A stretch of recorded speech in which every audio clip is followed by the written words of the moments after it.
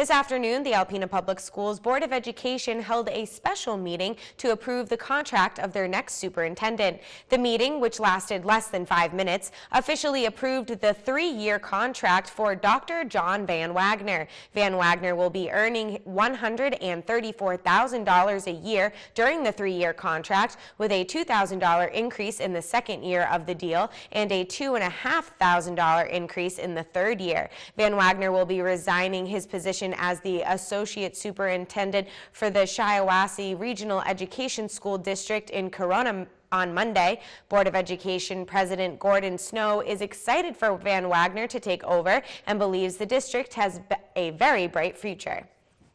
We were excited about the, when we went through the interview process, we were very excited about him and his responses and his plans for not only his first 100 days, but some longer range plans as well. So um, we're going to be very glad to have him here. I can hardly wait for the 15th of August to get here so we can, we can get started.